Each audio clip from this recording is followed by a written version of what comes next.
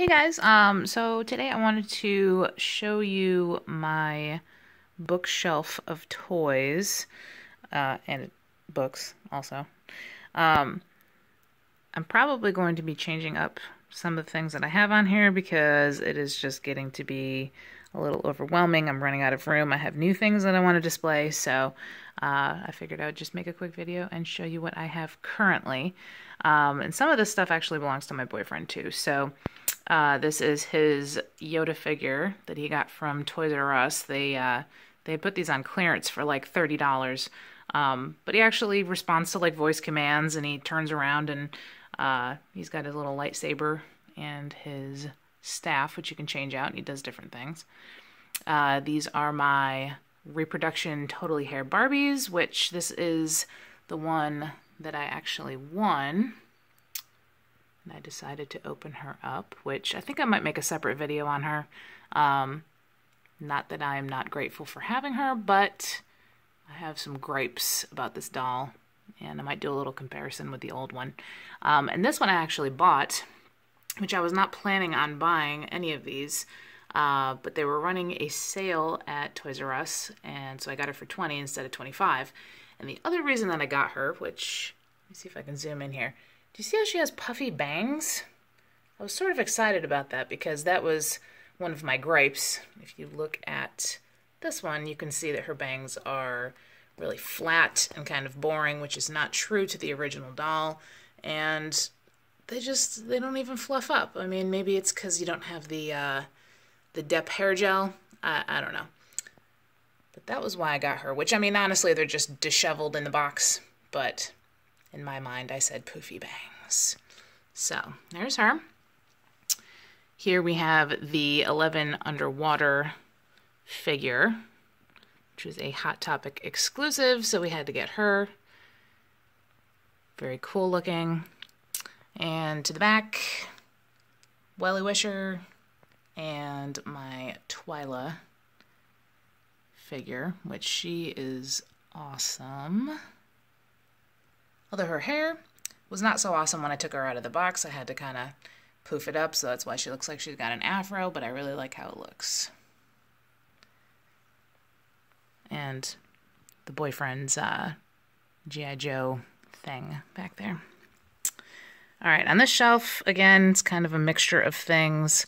So over here is the boyfriend's wrestling stuff. That's a Mankind uh, resin figure. That is a sweetie pup to the back with his little biscuit and whatnot. Uh, obviously, that is a Care Bear. To the back, I have, uh, you can't really see it. Uh, that is a poison dart frog that I got at the Mad Monster Convention, uh, which I was really excited to get. We have some random uh, Squinkies and Shopkins. To the back, we have a Book-It pen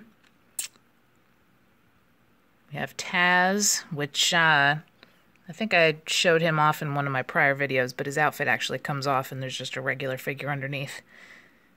We have some modern day Hot Wheels. We have some Micro Machines, some more Squinkies. To the back, this uh, root beer truck back here is smelly. If you shake it, it will smell like root beer. And that travel club card will actually open to kind of like a little I don't know, sort of a playset, little mini thing. And these are all of the boyfriend's wrestling minifigures, which I think he said he's only missing, I don't know, three maybe. I want to say Walmart exclusives possibly. But a near complete set. All right, down here, again, we have some of the boyfriend stuff. Hot Wheels, obviously that is an LOL doll. Uh, I have a Slowpoke figure here all my little Cabbage Patch PVCs, which I like very much.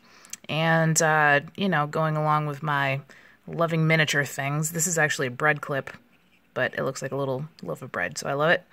I've got some little sushis and my little glass turtle back there.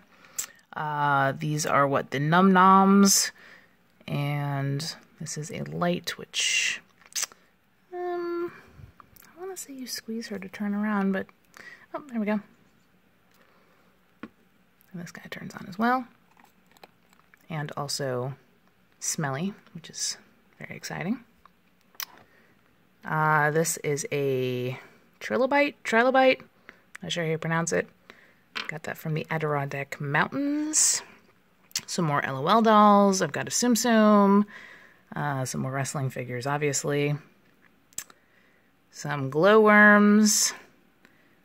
Some vintage uh, Disney plastic rings, like the quarter machine rings. I love those.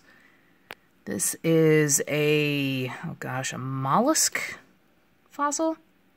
I like that very much. Also got that from the Adirondacks. This is a wind-up Pac-Man, which is awesome. And then this, something I had when I was little. I don't know if this came with something. Little baby dolls, but I like it.